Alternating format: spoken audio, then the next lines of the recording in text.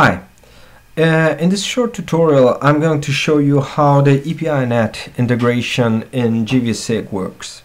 Epanet is a module dedicated to uh, water management systems for design and verification of the systems and it has been uh, implemented inside gvSIG.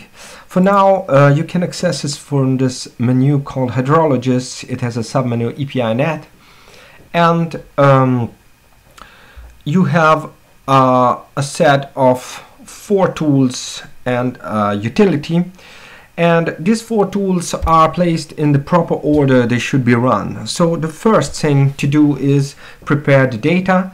Most probably you will have already your network data ready. Uh, but Epanet, the Epanet module, uh, requires you to define a certain set of attributes uh, and it will work with shapefiles. So uh, if you click this first action create project files it will ask you for a folder inside which to save the generated shapefiles and it will ask you for the projection in which you want to work.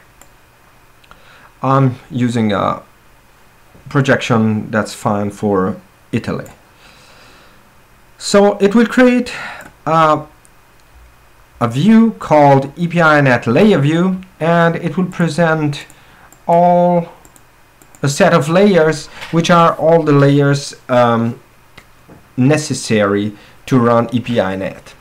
In fact some of those are optional but uh, you will need for sure pipes and junctions and then it will the rest will depend on your network. So let's have a quick look as you can see uh, they are already styled I'm going to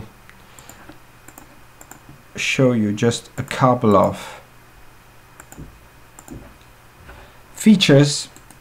Uh, right now I'm not giving any uh, I'm not taking any care of snapping so this network would not work but I'm just showing you how you can add junctions. And you just use the G usual GIS tools to do so. And if we have a look at the attributes table, um, this is quite important because it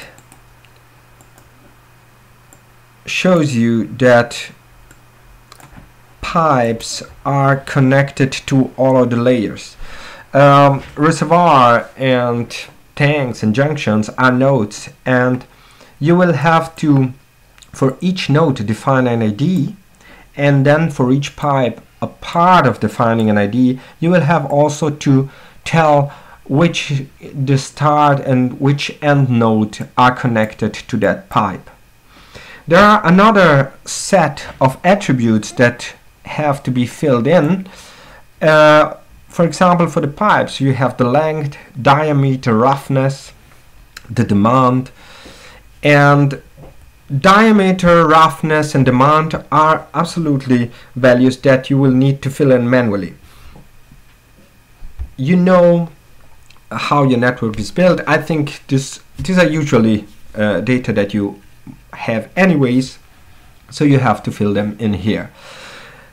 There are another set of attributes like start node, end node, the length, or for the junctions elevation, which are attributes that could be extracted from the geometry uh, or the geography of the network. So these uh, can be extracted with the second module, which is the sync project file modules. I'm going to show you this in, in a second. So uh, to do so, I will close this testing project and I will show you a real world project I have here. Um, this is a small village in the northern part of Italy and let me do this. Uh, I have these are this is the test folder I just created as you can see all the layers are generated here uh, this here is the project the real world project I was talking about let me just load uh, the layers I have I drag them into the layer view. And it's not very visible. It is in this area.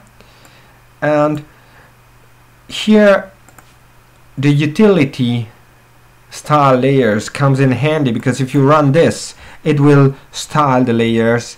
If the attributes are the right ones it will style and the names of the layers are the right ones it will style them uh, the Epanet way okay once I have this uh, let's assume I generated it manually I've used snapping because junctions need to be placed exactly at the start and end of the pipes. The pipes need to be connected properly.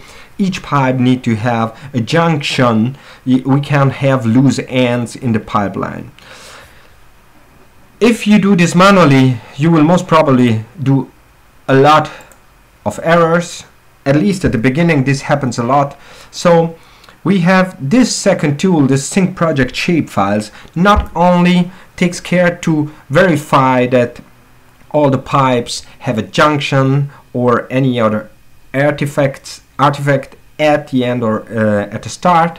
Uh, it will also check that the, the pipes are properly connected and it will also fill in those attributes that don't have to be uh, inserted manually. So let's have a run on it and let's see what it does. The first thing it will ask is if there is a raster present in the layer view, and in this case we have two, aspect and DTM, it will ask if uh, we want to use a certain raster, in this case DTM Castello, um, to extract elevation of the junctions. Uh, if we added manually in the attribute table the precise elevation of the junctions, we will say no in this case. But uh, in my example, I don't have the elevations, so I will say yes. What happens? It will read the elevation model, the terrain model, uh, and it will extract the elevation and fill in the attribute tables the uh, value. Uh, usually this might not be precise, maybe you have a precise one. It's not, it, it depends on how, how you want to work with it. Once the shapefiles are created, I noticed that some layers went missing. So since I didn't have pumps and valves at the start, uh, they were removed from my layers list. And if I have a look at the attribute table, as you can see, the length and the start and end node of each one have been filled with data, have been populated. Let's have a look at this here. Here we should have uh, a reservoir which is called R1 and a tank which is called T1 and let's open also the junctions as you can see the elevation has been filled in so I'm expecting this pipe to have a start node or end node T1 and R1. So somewhere we should have a T1 and R1, which is this one. As you can see, if I select it, this is indeed the proper pipe. If you didn't snap properly, this module will open up a warning dialog and will tell you that uh, some pipes were not properly uh, joined. It will also tell you which ones, so it will be quite easy to correct the problem. Once this module has been run and the data are generated, and I'm saying generated because in fact it is not that the original data are modified.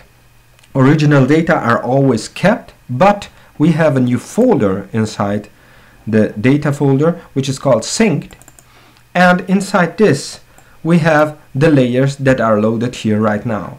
These are the layers which have filled in, if I have a look here, as you can see, it has the filled in elevation. So this is the set of data with which you will work from here on.